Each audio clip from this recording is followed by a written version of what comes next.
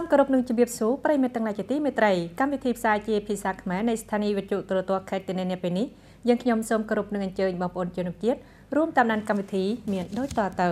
ជាបឋមនៃកម្មវិធីគមិតការព័ត៌មានខិតខំប្រឹងប្រែងក្របដណ្ដប់ធានារ៉ាប់រងសុខភាពប្រជាជនទាំងមូលនៅតែប្រឈមមុខនឹងការលំបាកជាច្រើនគណៈប្រតិភូក្រសួងពលកម្មយុទ្ធជនពិការនិងសង្គមគិច្ចធ្វើការនៅតៃនិនផ្សារបនសហជីពសម្រាប់សមាជិកសហជីពកម្មករនិងពលករឥឡូវនេះសូមគោរពនឹងអញ្ជើញបងប្អូនជនជាតិរួមតាមដានកម្មវិធីមានដូចតទៅ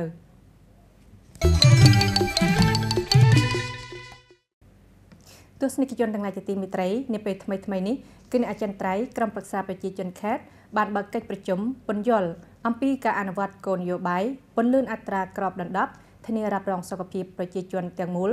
ចូលរួមធានារ៉ាប់រងសុខភាពលើភូមិសាស្ត្រខេត្តគណៈកម្មាធិការប្រជាជនខេត្តបានរាយការណ៍អត្ថាធិប្បាយពន្យល់អំពីការអនុវត្តគោលនយោបាយពន្លឿនអត្រាក្របដណ្ដប់ធានារ៉ាប់រងសុខភាពប្រជាជនទាំងមូលនិងបានឆ្លើយតបខ្លឹមសារដែលបានលើកឡើងដោយគណៈកម្មាធិការជំនាញនៃក្រមប្រឹក្សាប្រជាជនខេត្តនិងគណៈអចិន្ត្រៃយ៍ក្រមប្រឹក្សាប្រជាជនខេត្តបណ្ដាក្រមស្រុកដែលបានលើកឡើង។ យោងតាមរបាយការណ៍ឆ្នាំ2019ដល់ឆ្នាំ2021ចំនួនអ្នកចូលរួមធានារ៉ាប់រងសុខភាពនឹងកើនឡើងក្នុងឆ្នាំ2019ទូទាំងខេត្តមានប្រជាពលរដ្ឋចូលរួមធានារ៉ាប់រងសុខភាពចំនួន88968នាក់សម្រេចអត្រា84.44%ដល់ឆ្នាំ2021ទូទាំងខេត្តមានប្រជាពលរដ្ឋចូលរួមធានារ៉ាប់រងសុខភាពចំនួន1លាន 39904នាក់សម្រេចអត្រា88.75%ក្នុងនោះកំណើនជាងគេគឺក្រុមគ្រួសារដែលចូលរួមតាមគ្រួសារគៀកក្រនិងកម្លាំងពលកម្មដែលចូលរួមក្នុងនិងក្រៅខេត្តគណៈកម្មាធិការប្រជាជនខេត្តបានវិតម្លៃថាគោលនយោបាយធានារ៉ាប់រងសុខភាព បានឈានចូលដល់ជីវភាពប្រជាជនជាបណ្ដាបណ្ដាហើយការយល់ដឹងរបស់ប្រជាពលរដ្ឋនិងអ្នកពលកម្មអំពីគោលនយោបាយធានារ៉ាប់រងសុខភាព កាន់តែមានភាពប្រសើរឡើងភ្នាក់ងារធានារ៉ាប់រងសង្គមខេត្តតេនិញបានចុះកិច្ចសន្យាជាមួយនឹងគ្រឹះស្ថានធានារ៉ាប់រងសុខភាពចំនួន23និងមណ្ឌលសុខាភិបាលចំនួន93នៅតាមឃុំសង្កាត់ទីរំស្រុកក៏ប៉ុន្តែទន្ទឹមនឹងនោះការធានារ៉ាប់រងសុខភាពប្រជាជនទាំងមូលនៅតែប្រឈមនឹងជាច្រើនការលំបាកគិតត្រឹមខែសីហាឆ្នាំ2022 ចំនួនមនុស្សដែលចូលរួមក្នុងការធានារ៉ាប់រងសុខភាព បានថយចុះជាង19000នាក់បើធៀបនឹងឆ្នាំ2021នៅក្នុងកិច្ចប្រជុំនេះលោកវ៉ាដឹកត្រង់អនុប្រធានអាចិន្ត្រៃយ៍គណៈកម្មាធិការប្រជាជនខេត្តនិងថ្នាក់ដឹកនាំមន្ទីរសុខាភិបាលថ្នាក់ដឹកនាំធានារ៉ាប់រងសង្គមខេត្តថ្នាក់ដឹកនាំការិយាល័យប្រៃសណីខេត្តនិងមូលដ្ឋានមួយចំនួនក៏បានបញ្យល់អំពីខ្លឹមសារដែលបានដាក់ចេញអំពីចំណុចខ្វះខាតដែលបានលើកឡើងក្នុងវគ្គបញ្យល់ លោកងៀងឋានតំក៏បានផ្ដល់ការណែនាំជាក់លាក់ដល់គណៈកម្មាធិការប្រជាជនខេត្តធានារ៉ាប់រងសង្គមខេត្តការិយាល័យប្រៃសណីខេត្តនិងវិស័យសុខាភិបាលខេត្តដើម្បីដោះស្រាយភាពខ្វះខាតឲ្យបានឆាប់និងបង្កើនលក្ខណៈល្អដើម្បីប្រជាជនចូលរួមធានារ៉ាប់រងសុខភាពដោយលេខចំពោះសុខាភិបាលលោកងឿងឋានតំក៏បានសង្កត់ធ្ងន់ថា và phối hợp chặt chẽ với bảo hiểm xã hội để chúng ta សហការមកចតជាមួយធានារ៉ាប់រងសង្គមដើម្បីឲ្យយើងមានផែនការរៀបចំធនធានមនុស្សនិងទីកន្លែងធ្វើការដើម្បីផ្ដល់សេវាធានារ៉ាប់រងសុខភាពដល់ប្រជាពលរដ្ឋអាចប្រើប្រាស់បានទន្ទឹមនឹងប្រព័ន្ធសាធារណៈមន្ទីរពេទ្យឯកជន និងកន្លែងថែទាំសុខភាពឯកជនត្រូវបានបន្ថែមដើម្បីឲ្យយើងអាចទទួលបានសេវាព្យាបាលមិនមានស្ថិរណៈហើយនៅតែទទួលបានរបបធានារ៉ាប់រងសុខភាព ជំរុញខ្លាំងអនុវត្តបច្ចេកវិទ្យាព័ត៌មានដើម្បីបញ្ចប់ទិន្នន័យរវាងការធានារ៉ាប់រងសង្គមនិងកន្លែងធានារ៉ាប់រងសុខភាពក្នុងការគ្រប់គ្រងអ្នកទិញប្រជាជនពេលមានព័ត៌មានដើម្បីទិញដូរផ្ទាល់តាមអ៊ីនធឺណិតយើងនឹងគ្រប់គ្រងតែម្ដងហើយនៅពេលនេះមិនត្រូវការដល់ដេប៉ូទៀតទេ ប្រកាសនេះត្រូវអនុវត្តបច្ចេកវិទ្យាព័ត៌មាន គឺយើងអាចដោះស្រាយការគ្រប់គ្រងចំនួនអតិថិជនបាន ទី2សហការជាមួយនឹងបណ្ដាមន្ទីរពេទ្យលោកងៀងឋានតំបានស្នើថាក្រោយស្ម័យប្រជុំបញ្យលគណៈកម្មាធិការប្រយុជនខេត្តនិងវិស័យសមត្ថកិច្ចត្រូវចាត់វិធានការនិងដំណោះស្រាយជាក់ស្ដែងដើម្បីអនុវត្តរាល់បញ្ហាដែលគណៈកម្មាធិការអចិន្ត្រៃយ៍និងដោះស្រាយជាស្ដែងដើម្បីអនុវត្តរាល់បញ្ហាដែលគណៈកម្មាធិការអចិន្ត្រៃយ៍ក្រុមប្រឹក្សាប្រជាជនខេត្តបានសន្និដ្ឋានក្នុងកិច្ចប្រជុំការងារ ទស្សនិកជនទាំងឡាយជាទីមេត្រីសេចក្តីសម្រេចចិត្តដោយក្រុមប្រឹក្សាប្រជាជនខេត្តនីតិកាលទី10ចេញផ្សាយក្នុងសម័យប្រជុំលើកទី6ដែលចូលជាធរមាននៅថ្ងៃទី19ខែធ្នូពាក់ព័ន្ធផ្ទាល់ទៅនឹងរបបកោនយោបាយសម្រាប់បណ្ដាភូមិមណ្ឌលប្រធានក្រុម និងកងជីវពលនោះគឺសេចក្តីសម្រេចចិត្តដែលកំណត់កម្រិត ប្រាក់ឧបត្ថម្ភប្រចាំខែសម្រាប់ភូមិនិងតំបន់ប្រធានឃុំមេតបនិងប្រាក់បំណាច់ថ្ងៃពលកម្មសម្រាប់កងជីវពលក្នុងភូមិសាខេតតេនិនសេចក្តីសម្រេចចិត្តកំណត់ថាកម្រិតប្រាក់ឧបត្ថម្ភរបស់បណ្ដាភូមិនិងតំបន់មេក្រុមគឺ1.2ដងនៃប្រាក់ខែគោលក្នុងម្នាក់មនុស្សក្នុងមួយខែប្រភពថាវិការសម្រាប់ការអនុវត្តពីថាវិការរដ្ឋសេចក្តីសម្រេចចិត្តចូលជាធរមានចាប់ពីថ្ងៃទី19ខែធ្នូឆ្នាំ2022 គណៈបញ្ជាការយោធាបណ្ដាឃុំសង្កាត់បានជ្រួតជ្រាបអំពីសេចក្តីសម្រេចដល់បណ្ដាកងកម្លាំងក្រមចំណុះបណ្ដាភូមិនិងតំបន់មេឃុំស្ងប់ចិត្តជាងមុនដោយសារកម្រិតប្រាក់ឧបត្ថម្ភត្រូវបានកើនឡើងបើធៀបនឹងមុននោះ mà cái nghị quyết là mình nâng ការអនុវត្តសេចក្តីសម្រេចដើម្បីបង្កើនប្រាក់ឧបត្ថម្ភពី1ទៅ1.2ដងនៃបញ្ជាការក្រមកម្រិតឡើងនេះមិនជាប៉ុន្មានប៉ុន្តែវាក៏លើកទឹកចិត្តយើងខ្ញុំស្ងប់ចិត្តធ្វើការ ក្រៅពីនោះសេចក្តីសម្រេចចិត្តកំណត់ថាកម្រិតប្រាក់ឧបត្ថម្ភសម្រាប់ថ្ងៃពលកម្មសម្រាប់កងជីវពលគឺ1លាន1,19200ដុងក្នុងករណីត្រូវបានអូសវែងពេលវេលាសម្រាប់អនុវត្តកាតព្វកិច្ចចូលរួមក្នុងកងជីវពលតាមសម្រេចរបស់អាជ្ញាធរមានសមត្ថកិច្ចប្រាក់ឧបត្ថម្ភបន្ថែមនឹងមានចំនួន59600ដុងដូច្នេះកងជីវពលដែលពន្យាអាណត្តិអនុវត្តកាតព្វកិច្ច នឹងត្រូវបានដំឡើងកម្រិតប្រាក់ឧបត្ថម្ភ60000ដុងក្នុងមួយថ្ងៃពលគឺ180,000ដុងក្នុងមួយថ្ងៃបច្ចុប្បន្ននេះគោលនយោបាយរបស់ខេត្តតេនិនចំពោះកងជីវពលទោះមិនខ្ពស់ដោយការសំណើមួយចំនួនក៏ដោយប៉ុន្តែមិនទៀបជាងមូលដ្ឋានរួមនោះទេ នៅតែខ្ពស់ជាងខេត្តមួយចំនួនទៀតផងប្រសិនបើថវិកាត្រូវបានធានានោះក្នុងបណ្ដាឆ្នាំខាងមុខខេត្តនឹងបន្តពិចារណាលើការបង្កើនប្រាក់ឧបត្ថម្ភដល់កងកម្លាំងប្រដាប់អាវុធមិនជំនាញបន្ថែមនៅថ្នាក់មូលដ្ឋាន ទស្សនិកជនទាំងឡាយជាទីមេត្រីនាពេលថ្មីថ្មីនេះក្រុមការងារក្រសួងពលកម្មយុទ្ធជនពីការនឹងសង្គមគិច្ចបានជួបប្រជុំការងារនៅក្នុងខេត្តតេនិនស្ដីពីស្ថានភាពអនុវត្តសេចក្តីណែនាំលេខ37និងស្ថានភាពអនុវត្តគោលនយោបាយពលកម្មការងារទំនាក់ទំនងពលកម្មប្រាក់បៀវត្សប្រាក់ចំណូលនៅចុងឆ្នាំនិងបញ្ចូលឆ្នាំថ្មីក្រុមការងារដឹកនាំដោយលោកលេវ៉ាងថាន់អនុរដ្ឋមន្ត្រីក្រសួងពលកម្មយុទ្ធជនពីការនឹងសង្គមគិច្ច និងភាគីខេត្តតេនិនមានលោកវដឹកតុងអនុប្រធានគណៈអចិន្ត្រៃយ៍គណៈកម្មាធិការប្រជាជនខេត្តតេនិននៅក្នុងកិច្ចប្រជុំនេះបណ្ដាតំណាងបានស្ដាប់របាយការណ៍របស់ថ្នាក់ដឹកនាំមន្ទីរពលកម្មយុទ្ធជនពីការនិងសង្គមគិច្ចខេត្តស្ដីអំពីការអនុវត្តស្រាចរលេខ37ឆ្នាំ2019ដែលគណៈកម្មាធិការបកខេត្តគណៈកម្មាធិការប្រជាជនខេត្តបានយកចិត្តទុកដាក់ផ្សព្វផ្សាយ និងរៀបចំអនុវត្តឲ្យបានទាន់ពេលវេលាផ្ដើមឡើងពីនោះគណៈកម្មាធិការបកគ្រប់លំដាប់ថ្នាក់គណៈនាយកបណ្ដាមន្ត្រីស្ថាប័នទាន់ពេលដឹកនាំអនុវត្តនិងជ្រួតជ្រាបម៉ត់ចត់បន្ទាប់ពីបានផ្សព្វផ្សាយការិយាល័យជំនាញកម្មាភិបាលនីមួយៗសមាជិកបកនីមួយៗបណ្ដាស្ថាប័នបានយល់ដឹងអំពីទួលនីតិសំខាន់ក្នុងការកសាងទំនាក់ទំនងពលកម្មប្រកបដោយស្របស្រួលសេរីភាព និងជឿនលឿនក្នុងស្ថានភាពថ្មី។ ការងារព័ត៌មានផ្សព្វផ្សាយគោលមេរៀរបស់បកព្រមទាំងគោលនយោបាយនិងច្បាប់របស់រដ្ឋស្ដីអំពីតំណែងតំណងពលកម្មត្រូវបានជំរុញខ្លាំងការងារអធិការកិច្ចនិងត្រួតពិនិត្យអនុវត្តច្បាប់ពលកម្មត្រូវបានអនុវត្តយ៉ាងម៉ឺងម៉ាត់ការថែទាំនិងការគ្រប់គ្រងដល់អ្នកពលកម្មត្រូវបានអនុវត្តទាន់ពេលវេលារួមចំណែកក្នុងការពង្រឹងតំណែងតំណងពលកម្មរវាងអ្នកប្រើប្រាស់ពលកម្មនិងអ្នកពលកម្មក៏ដូចជាតំណែងតំណងរវាងអាជ្ញាធរគ្រប់លំដាប់ថ្នាក់ និងកម្មករនេះពលកម្មទន្ទឹមនឹងនោះនៅមានចំណុចខ្វះខាត និងកម្រិតមួយចំនួន នៅក្នុងនោះមានការព្យាករណ៍ថានៅចុងឆ្នាំ2022និងបញ្ចូលឆ្នាំថ្មីឆ្នាំ2023ចំនួនពលករដែលឈប់ធ្វើការត្រូវផ្អាកឬបញ្ឈប់ការងារអាចកើនឡើងជីវភាពគឺលំបាកគ្មានលក្ខណៈទទួលបញ្ចូលឆ្នាំថ្មីក្រៅពីនោះខេតេនីងក៏បានដាក់ចេញភារកិច្ចនិងដំណោះស្រាយនាពេលខាងមុខ និងបន្តពិនិត្យចំនួនកម្មករដែលឈប់ធ្វើការអ្នករងផលប៉ះពាល់ខ្លាំងជាងគេគឺអ្នកដែលជួបលំបាកដើម្បីផ្ដល់ជំនួយទាន់ពេលវេលា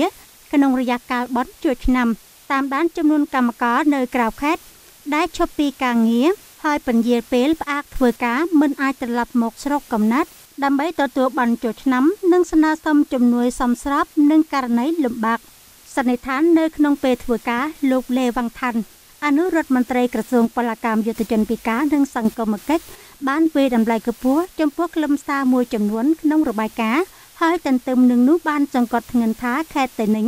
ចាំបាច់ត្រូវជំរុញទីផ្សារការងារនិងពិនិត្យឡើងវិញការក្តាប់ជាប់ពលកម្មការងារនិងប្រាក់ចំណូលក្នុងអំឡុងបន់ជួសឆ្នាំបន្តយកចិត្តទុកដាក់ចំពោះពលករបរទេសបញ្ហាពលករតាមព្រំដែនសំណើមន្ទីរពលកម្មយុទ្ធជនពិការនិងសង្គមគិច្ច កសាងគម្រោងបណ្ដុះបណ្ដាលប្រភពធនធានមនុស្សទស្សនិកជនទាំងឡាយជាទីមេត្រីសហព័ន្ធពលកម្មខេត្តតេនិនទើបតែបានឲ្យដឹងថាកម្មវិធីផ្សារបនសហជីពឆ្នាំ2023នឹងប្រព្រឹត្តទៅដោយមានសកម្មភាពសស្រាក់សស្រាំនិងអត្ថន័យជាច្រើនយោងតាមនោះផ្សារសហជីពបនជួយឆ្នាំគ្រងនឹងប្រព្រឹត្តឡើងនៅថ្ងៃទី30ខែធ្នូដល់ថ្ងៃទី31ខែធ្នូឆ្នាំ2022 និងរហូតដល់ថ្ងៃទី1ខែមករាឆ្នាំ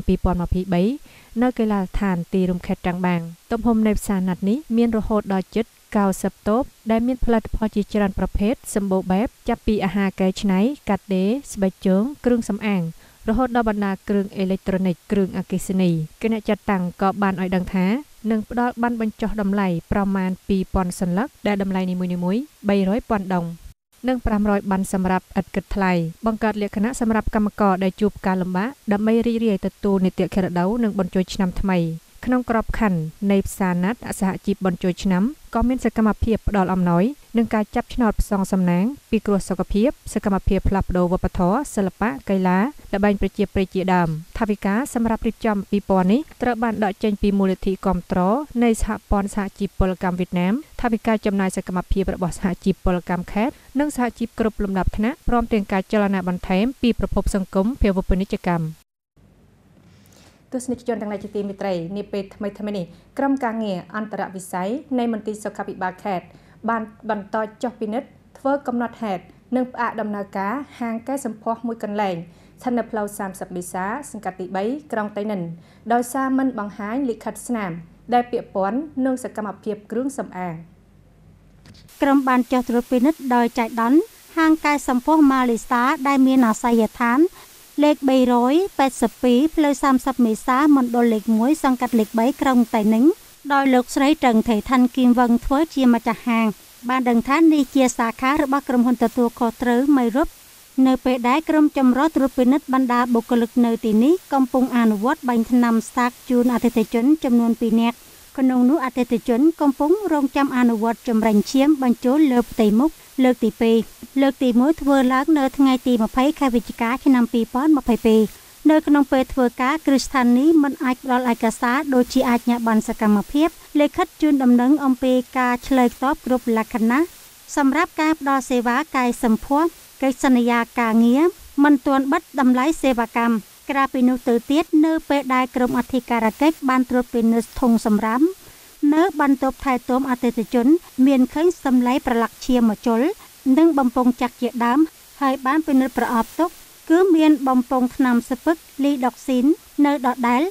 និងបំពង់មួយចំនួនដែលបានប្រើប្រាស់ក្រុមត្រួតពិនិត្យបានធ្វើកំណត់ហេតុសំណើឲ្យគ្រឹះស្ថានផ្អាកសកម្មភាព បច្ចុប្បន្នអធិការកិច្ចមន្ទីរសុខាភិបាលកំពុងបន្តធ្វើកំណត់ហេតុដើម្បីវិនិច្ឆ័យករណី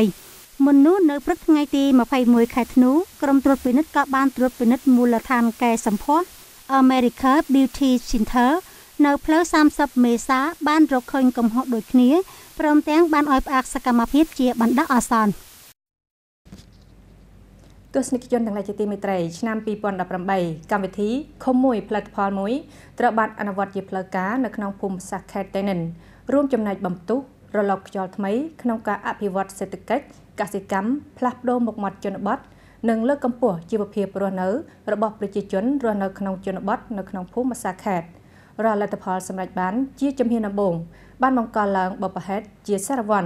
សម្រាប់ខេត្តរបស់យើងក្នុងការបន្តផ្សព្វផ្សាយកម្មវិធីនេះ ក្នុងទិសដៅនៃការផ្សារភ្ជាប់អភិវឌ្ឍផលិតផលអូខូបជាមួយនឹងការធ្វើអាជីវកម្មទេសចរជនបទចុងក្រោយនៃកម្មវិធីសូមគោរពនឹងអញ្ជើញបងប្អូនជនជាតិរួមតាមដានបទយកការមានដូចតទៅ ក្នុងបណ្ដាឆ្នាំថ្មីថ្មីនេះសកម្មភាពវិស័យទេសចរបានក្លាយទៅជាវិស័យសេដ្ឋកិច្ចមុខព្រួញជាបណ្ដាបណ្ដាហើយនាំមកនៅផលប្រយោជន៍ដ៏ធំរបស់ខេត្តតៃ ninh គិតចាប់ពីដើមឆ្នាំ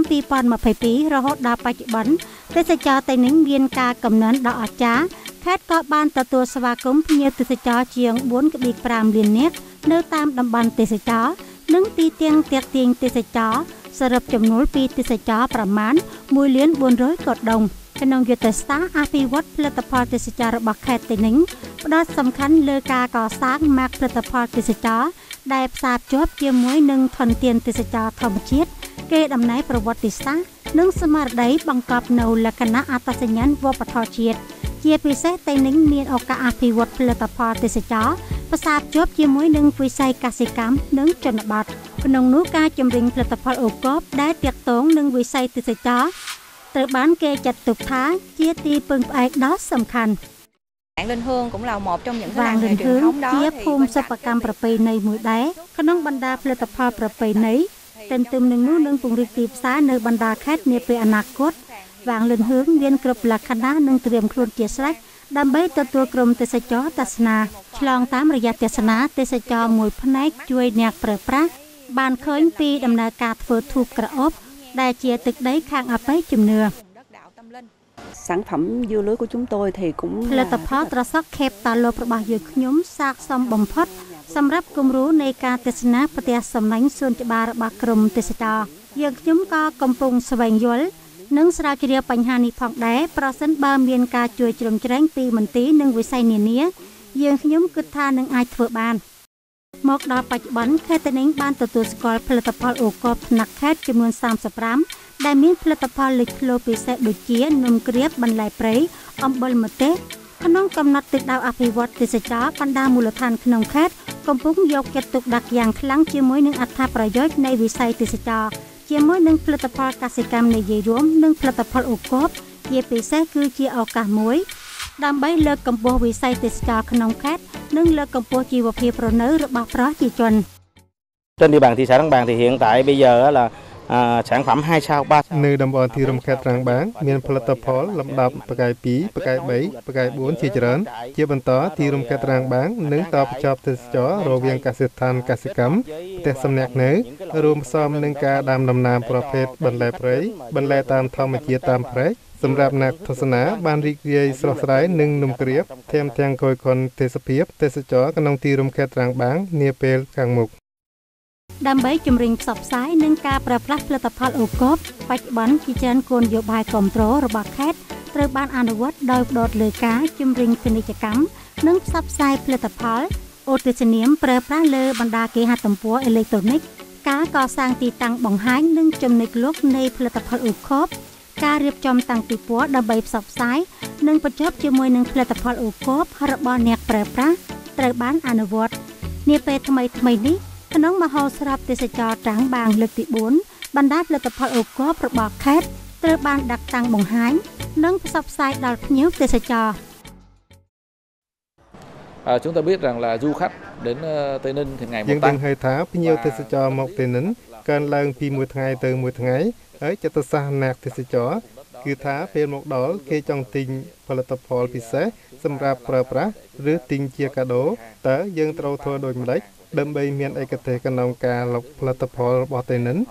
រួមទាំងបណ្ដាផលិតផលអូខុបរបស់យើង ដើម្បីឧទ្ទិសនាមដល់ភ្ញៀវទេសចរដើម្បីពួកគេនាំយកទៅផ្ទះម្យ៉ាងទៀតយើងលើកកម្ពស់តម្លៃផលិតផលសម្រាប់យើងខ្ញុំរួមជាមួយវិស័យឧស្សាហកម្មនិងពាណិជ្ជកម្មវិស័យទេសចរនិងស្វែងរកលក្ខណៈដ៏ល្អបំផុតដើម្បីជួយបងប្អូនរបស់យើងនាំយកទំនិញប្រើប្រាស់ដល់ភ្ញៀវទេសចរគេអាចមើលឃើញថាការដាក់បញ្ជូនឧទ្ទិសនាមលក់ផលិតផលអូខបផលិតផលកសិកម្មមានលក្ខណៈពិសេស ដែលផ្សារភ្ជាប់ទៅនឹងកន្លែងតាំងពិព័រណ៍ការឃោសនាការផ្សព្វផ្សាយរូបភាពទេសចរនិងសេវាកម្មប្រឹក្សាយោបល់និងដំណើរការទេសចររបស់តៃនិញនិងប្រើប្រាស់អស់កម្រិតប្រភពធនធាន និងកម្លាំងប្រៀបទាំងសងខាងផលិតផលអូកបបានរួមចំណែកពង្រឹងធ្វើឲ្យសម្បូរបែបកម្មវិធីទេសចរដោយហេតុនោះទាក់ទាញភ្ញៀវទេសចរតៃនិញទន្ទឹមនឹងនោះទេសចរក៏ជាបណ្ដាញដ៏មានប្រសិទ្ធភាព ក្នុងការផ្សព្វផ្សាយធ្វើពាណិជ្ជកម្មផលិតផលអូកបរបស់ខេត្តផងដែរទស្សនិកជនទាំងឡាយជាទីមេត្រីកម្មវិធីផ្សាយជាភាសាខ្មែរនៃស្ថានីយ៍វិទ្យុទូរទស្សន៍ខេត្តទីនេះពេលនេះសូមបញ្ចប់ត្រឹមតែប៉ុណ្ណេះសូមថ្លែងអំណរអគុណចំពោះប្រិមិត្តដែលចំណាយពេលយកចិត្តទុកដាក់សម្រាប់នាងខ្ញុំនិងអ្នករៀបរៀងកម្មវិធីនៅពេលនេះសូមជម្រាបលាដោយមេត្រីនិងសូមសន្យាជួបវិញនៅកម្មវិធីលើកក្រោយទៀតសូមជម្រាបលា